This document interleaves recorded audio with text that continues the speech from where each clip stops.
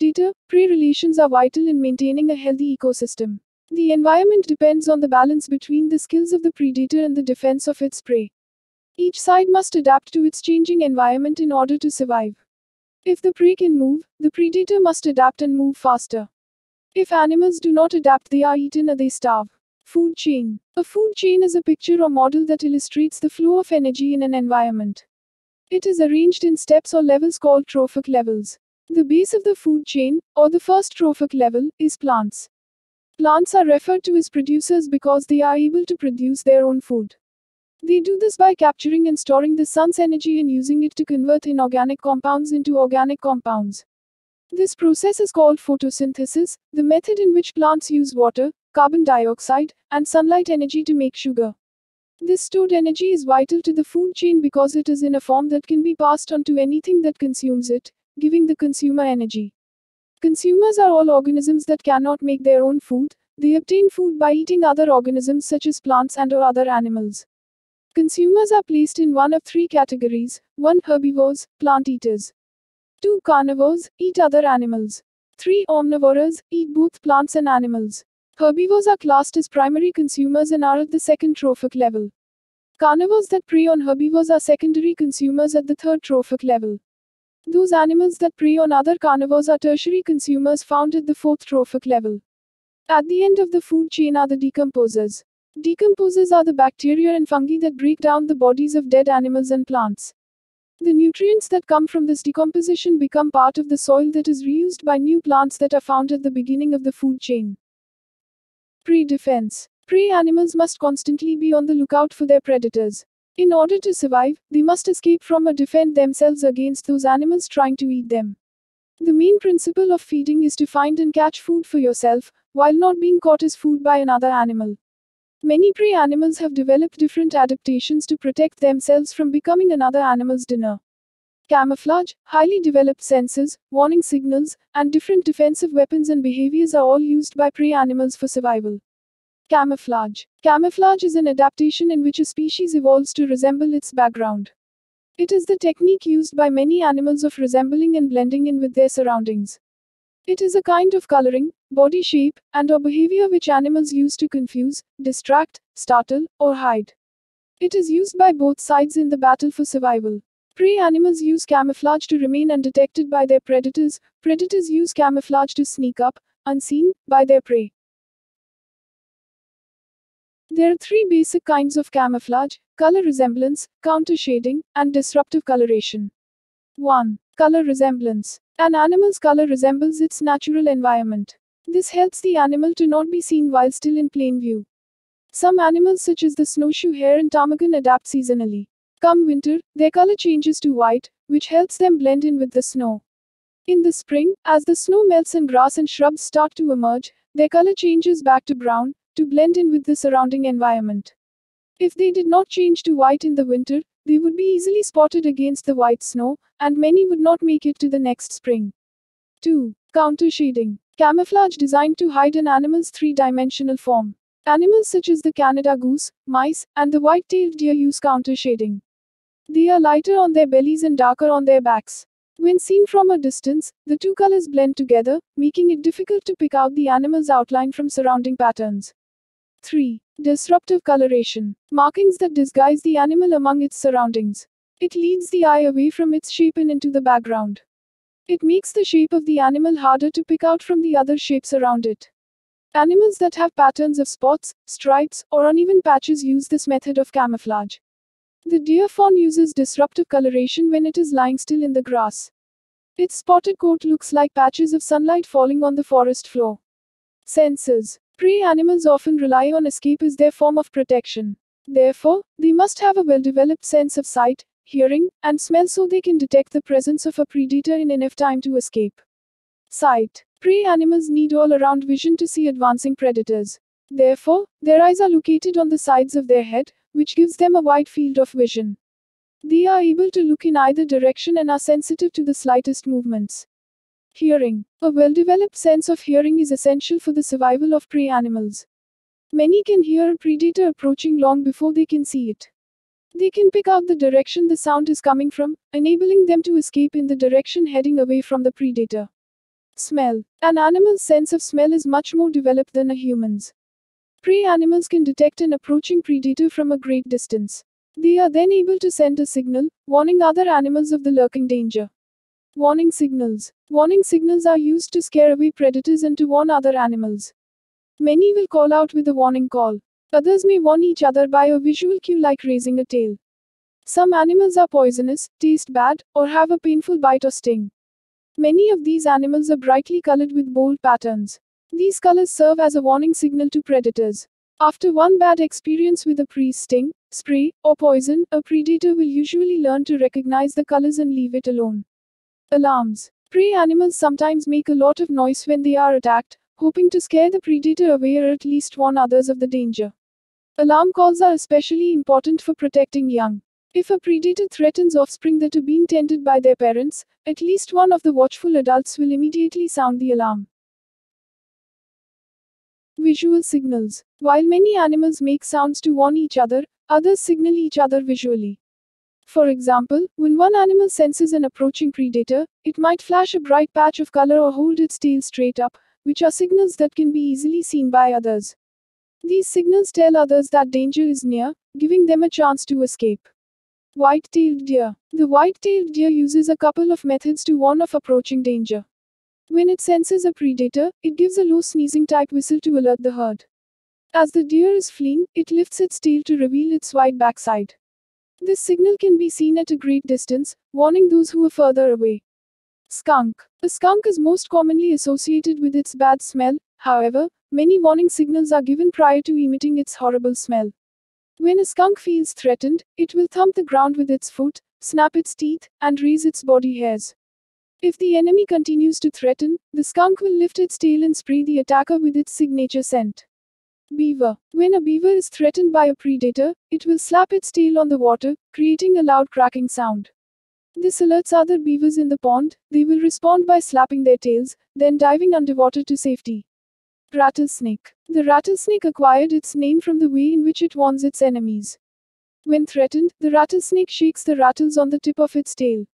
If the enemy persists, the rattlesnake will coil up and prepare to strike. Prairie dog. Prairie dogs live in colonies and appoint the young as guards, stationed on top of their burrows, and on the outskirts to the prairie dog town, to keep an eye out for predators. When anything of danger is spotted, the guard throws its head back and gives a short, nasal yap. This warns the colony who all dive into their burrows for safety. Defensive weapons. Prey animals have adaptations to fight or avoid their predators. Many prey animals are very fast and will run a fly away from their attacker. They have specialized features which give them incredible speed. Other animals will fight back using special adaptations to cause harm to their attacker. Special weapons. When an animal is under attack, it will defend itself with all the weapons it has arms, legs, wings, hooves, teeth, claws, antlers, etc. Some animals have further adapted to defending themselves and have developed other forms of defense. Porcupines have quills with barbed hooks on the ends. If a predator gets too close, the porcupine can release the quills into its predator, making it draw back in pain as the porcupine escapes. Chemical defense. Some animals and insects use chemical defense. When attacked, some may spit, spray, or squirt chemicals which can cause pain or discomfort to the predator. Many snakes have venom, which, when injected into the skin, can stun, numb, or paralyze the attacker. Skunks use an odor to protect themselves. They produce a strong liquid called musk. Musk is made and stored in glands near the tail. When another animal comes too close, the skunk raises its tail and sprays musk from its glands. While the intruder is reeling from the powerful odor, the skunk runs away. Speed. Many animals rely on running away as their best defense. Animals such as deer and pronghorn have hind legs built for speed. They can usually outrun a predator. If the animal is very young or sick, However, it is unable to run very fast and is usually caught. Behavioral adaptations. Prey animals adapt not only physically, but behaviorally as well. Their behavior is governed by instinct and is altered to suit their environment in unique defensive situations. Some animals trick their predators into thinking they are hurt or dangerous. Others will congregate into large groups or have highly adapted forms of hiding from their attackers. Bluffing. Bluffing is used by some animals to fool their predators into thinking they are dangerous, already dead, or hurt. Some may copy the behavior of a dangerous animal or have specialized body parts that look dangerous. This is called mimicry. Mimicry is mainly used by insects. The viceroy butterfly has a black and orange wing pattern that closely matches the monarch butterfly's pattern. The monarch is a bad tasting insect that most birds will not eat. Birds which see the viceroy will leave it alone, thinking it is a monarch. Some animals, like the killdeer, will pretend to be hurt in order to draw the predator's attention away from the nest. The predator will divert its attention to the mother killdeer and follow it until the killdeer thinks the predator is far enough away from the nest, then she will fly away, leaving the predator without a meal.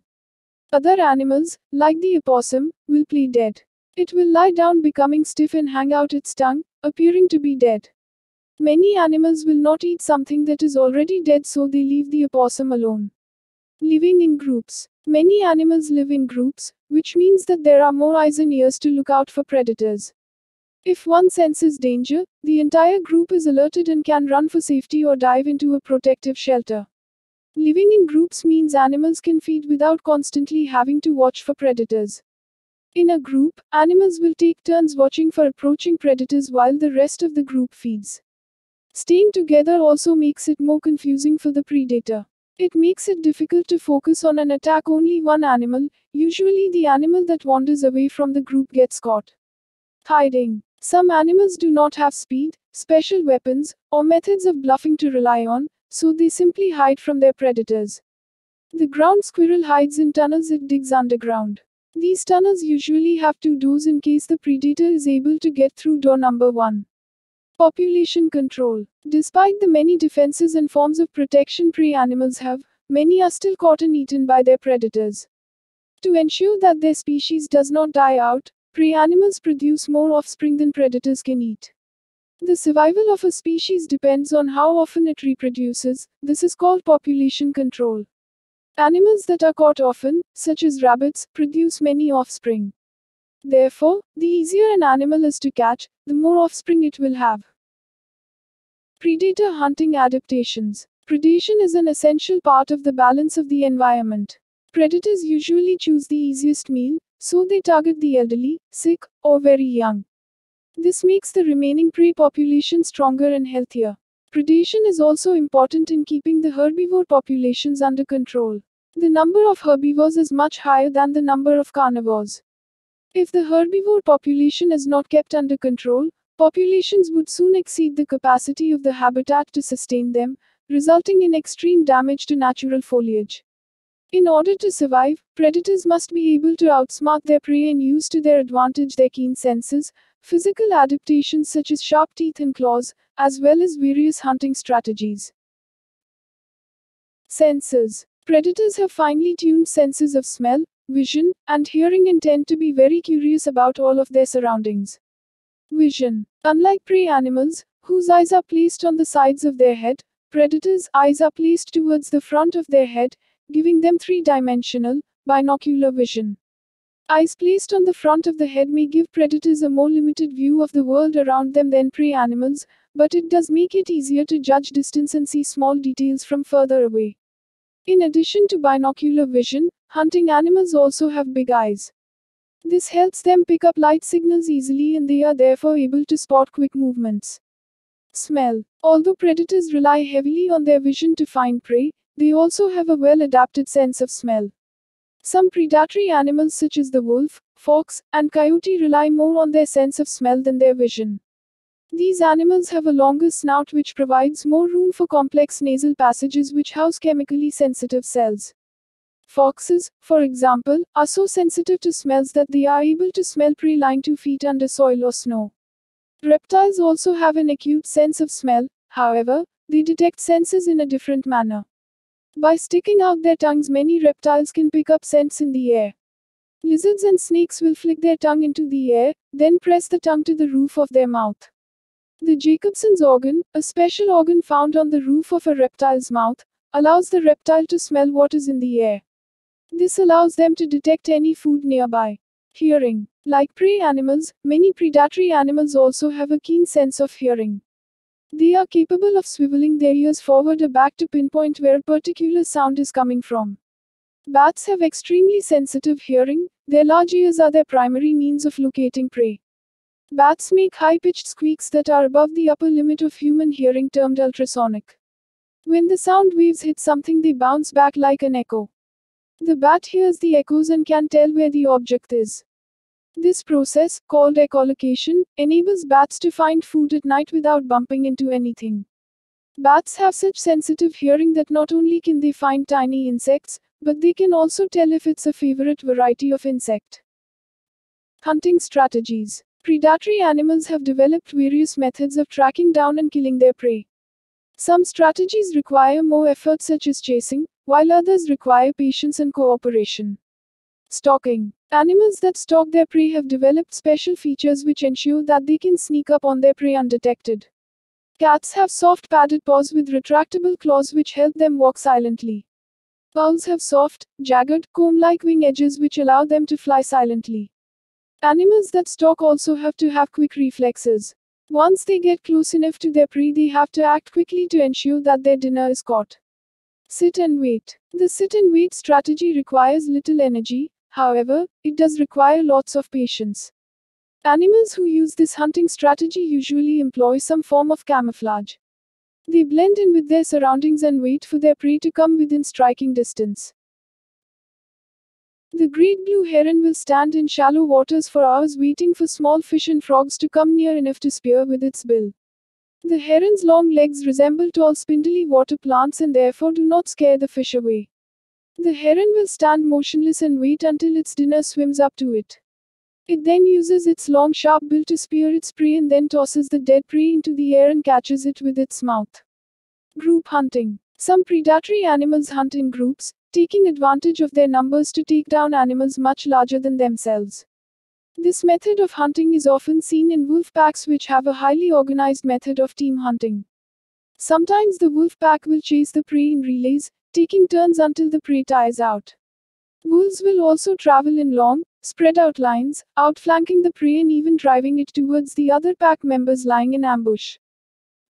Physical adaptations. In addition to hunting strategies, predatory animals have also adapted to their life of hunting by developing various physical features which aid them in capturing and eating their prey. Teeth and claws. Predatory animals are equipped with long, sharp claws and teeth specialized for tearing, shearing, and cutting flesh. Their teeth and claws ensure that once the prey is caught, the predator is able to kill it as well as eat it. Birds of prey, such as hawks, eagles, and falcons, have long curved claws on their feet called talons. Their talons allow these birds to swoop down and easily grasp prey such as slippery fish and squirming rabbits. Their long curved beaks are also very sharp and strong, which aids them in ripping apart their dinner. Cat claws are unique in that they are retractable. They can move swiftly and silently with their claws pulled into their paws, but as soon as they pounce on their meal, their razor sharp claws spring out of their paws and tear at the prey. Jaws. Most predatory animals have very strong jaws which enable them to hold on to their prey as well as to crush through meat and bone. Their jaws also move up and down, instead of side to side like prey animals, which better enables predators to cut through flesh. Snakes' jaws have adapted in order to swallow food whole. Their jaw can become unhinged at the rear so it can drop far down, allowing more room in the mouth to fit the meal. Many snakes can swallow an animal that is three times larger than their body diameter. Strength Many predatory animals are very strong.